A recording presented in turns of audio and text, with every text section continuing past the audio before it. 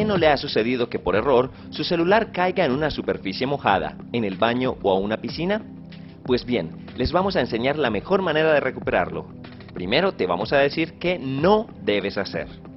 No dejes que la humedad se evapore por sí sola, ya que la corrosión puede dañar el aparato.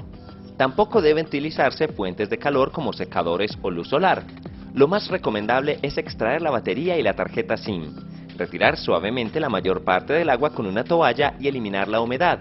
Para ello, introduce el teléfono en un tarro con paquetes de gel de silicio como los que vienen en algunas prendas durante al menos un día.